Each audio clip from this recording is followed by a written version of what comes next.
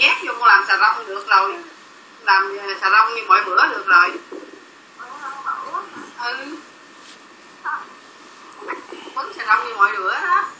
À đúng rồi. Dai trùm lên là mồ hôi cả chảy rồng rồng luôn. Rồi quấn lên coi. Sao mặc cái áo này nó dày quá vậy? Áo nè mẹ gửi chứ ai con ông nè đẹp quá đó Bella giờ giống công chúa ờ, nàng tiên cá công chúa quá đó. À, cho con quấn vậy gì đó. chứ là chồng mất trên cái thành kinh chết. Nhưng thôi mà chồng lên thôi. Áo như vậy á gọi là gọi là áo khoác. Nó khóa Nó gọi là áo khoác vậy hả còn như vậy là người ta gọi là áo khoác làm công chúa làm sao? Công chúa làm sao làm cho mẹ coi đi chú chú thì ngoài kia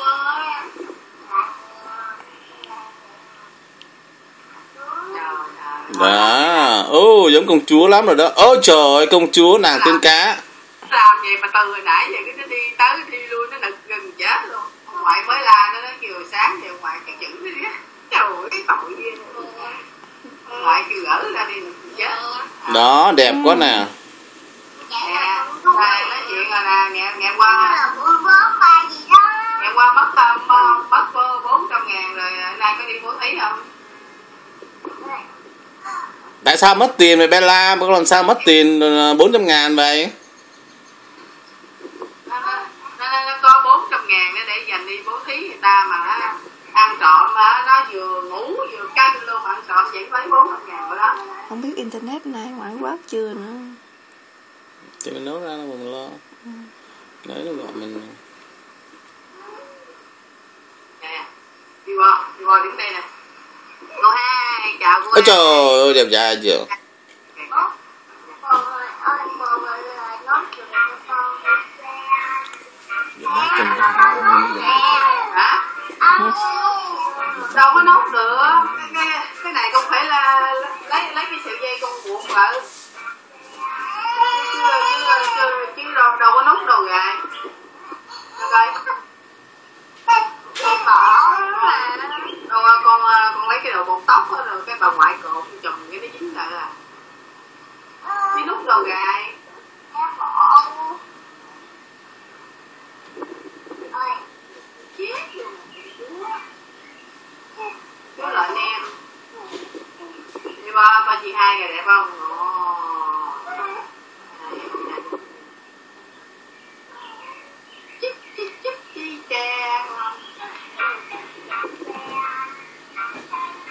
mặc nóng á. Cái áo con ông nè cái giải mặc nóng á. Ừ nóng á.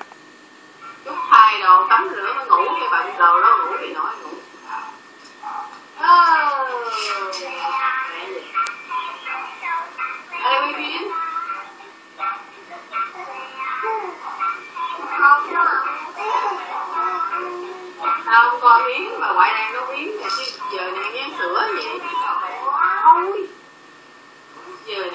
chỉ sữa mai mua nhân nhân sữa trưa ăn chứ có mua chờ miếng